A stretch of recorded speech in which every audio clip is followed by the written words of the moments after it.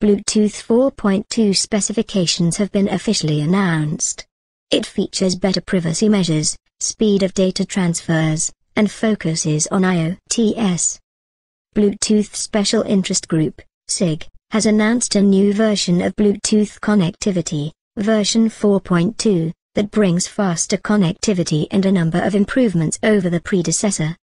The main highlight of Bluetooth 4.2 is the faster data sharing. In 4.2, Bluetooth Smart is up to 2.5x faster with a packet capacity increase, nearly 10x more versus previous versions.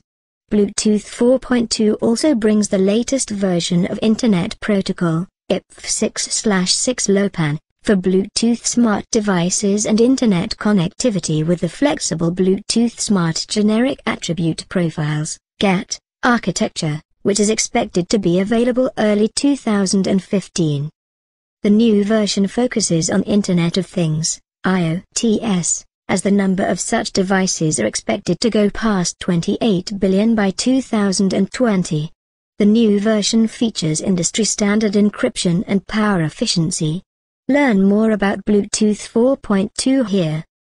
Bluetooth 4.1, released almost a year ago, had also brought faster speed for bulk data transfers and focused on connectivity with smart devices.